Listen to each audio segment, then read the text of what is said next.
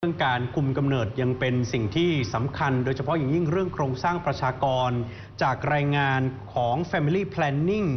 ปี 2020 หรือว่า FP 2020 ให้ข้อมูลที่น่าเป็นห่วงทีเดียว โดยเฉพาะสุภาพสตรีที่อยู่ในประเทศที่ยากจน ขาดโอกาสในการเข้าถึงการคุมกำเนิด ซึ่งตอนนี้อยู่ระหว่างการพยายามอย่างยิ่งที่จะไป ขยายแผนบริการการวางแผนการคุมกำเนิด ให้ได้ถึง 120 ล้านคนในปี 2563 ปัจจุบันนี้มีผู้ที่เข้าถึงบริการได้เพียง 30 ล้านคน มีทั้งผู้หญิงและเด็กผู้หญิงไม่ต่ำกว่า 225 ล้านคนในประเทศกำลังพัฒนา ที่ยังไม่ต้องการตั้งครรภ์และเข้าถึงบริการที่คุมกำเนิดโดยเหมาะสมไม่ได้อย่างมีประสิทธิภาพนะครับ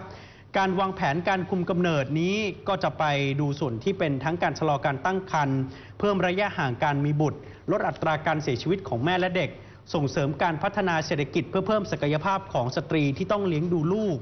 จากรายงานมีผู้หญิงรวมทั้งเด็กด้วยนะครับ สูงถึง 300 ล้านคน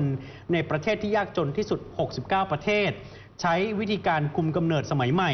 ถ้าเปรียบเทียบกับเมื่อสัก 13 ปีที่แล้วก็เพิ่มขึ้นถึง 50%แต่ก็มีสตรี 800 คนเสียชีวิตจากอาการแทรกซ้อนจากอาการตั้งครรภ์ในแต่ละวัน ซึ่งเรื่องนี้ท้ายที่สุดแล้วจะต้องนำไปพัฒนาในเชิงนโยบายต่อไป เพื่อที่จะคุ้มครองสวัสดิภาพของผู้หญิงและเด็ก เพราะว่าการลงทุนด้านการวางแผนครอบครัว